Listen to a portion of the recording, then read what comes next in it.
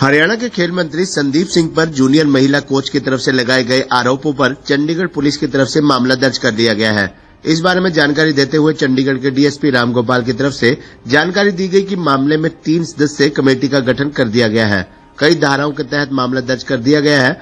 मामले की जाँच जारी है। महिला कोच जिसकी तरफ़ से खेल मंत्री पर आरोप लगाए गए हैं, छेड़छाड़ की उसकी तरफ़ 30 दिसंबर को चंडीगढ़ पुलिस स्टेशन में आला पुलिस अफसर के पास अपनी शिकायत दर्ज कराई गई थी, जिसे सेक्टर 26 थाने में भेज दिया गया।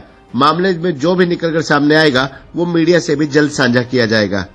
30 दिसंबर को लेडी कोच हरियाणा की चंडीगढ़ पुलिस के हेडक्वार्टर में आके सीनियर ऑफिसर्स को मिली और उन्होंने जो स्पोर्ट्स के मिनिस्टर हैं, उनके खिलाफ कंप्लेंट दी और वो कंप्लेंट थाना 26 में भेज दी गई और जिस पर कल 31 दिसंबर 2022 को थाना 26 में तीन सौ चौवन, तीन सौ चौवन ए, तीन सौ चौवन बी, तीन सौ बयालीस, पाँच सौ छः आई के तहत मुकदमा दर्ज किया गया है और इसमें सीनियर ऑफिसर्स ने S D P O east और वुमेन पुलिस स्टेशन के inspector and inspector cyber cyber cell इनकी एक एसआईटी बनाई है जो इस पर मुस्तैदी से इन्वेस्टिगेशन कर रही है।